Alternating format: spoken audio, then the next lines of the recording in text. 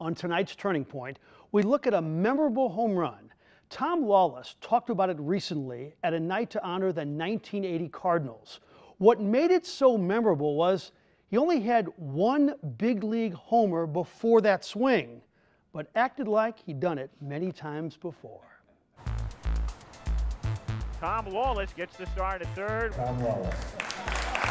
Terry hurt himself swinging in batting practice, Pendleton, and he couldn't uh, he couldn't swing from the right side. I got the opportunity to play, you know, against the left-handed starter, which was Frank Viola.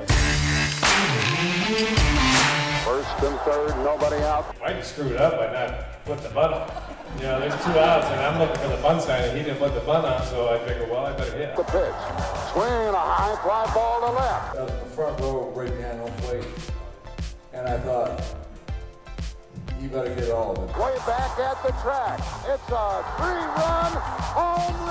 The famous bat flip that has been rated as one of the best back, maybe the first bat flip ever. He flipped the bat like in was going, and it hit the back of the wall. And it went over by three feet, by the way. That is hard to imagine. Luckily, it went out because he was ready for me at all way. And I told him, boy, you lucky.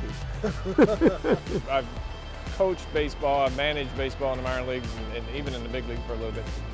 And that's what I tell all the kids. When you walk off the home plate, you have a chance. You have a bat in your hand, you have a chance. To hit one is a big deal, especially in a World Series. and against Frank Viola, for heaven's yes, sakes. and when you think about it, that's one of the 10 most memorable home runs for I think in Cardinals sure, history. because it was so Yeah. unexpected. and he just played the part so cool. I mean, it was It's one of those things that if you're a Cardinals fan, you will never forget. absolutely. And we'll be right back.